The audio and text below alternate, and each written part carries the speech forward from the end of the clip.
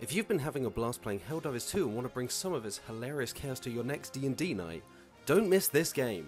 Planet Fist is basically Helldivers 2 as a tabletop RPG, mixing together the same satirical comedy of Starship Troopers as players nano-cloned soldiers drop onto the alien planet of Six Aura to fight for capitalists, fascists, or both.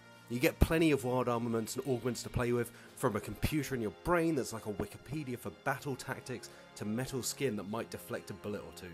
There's also these Wolverine like knuckle blades, which I love for the description bones are for the weak.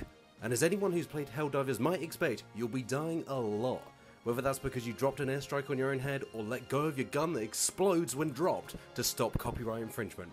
That's okay because you'll soon respawn at a nearby reassembly point and jump right back into the fight. Designer Jess Levine is working on a new edition of Planet Fist for later in 2024, but you can still pick up the original for just $10 over on itch.io.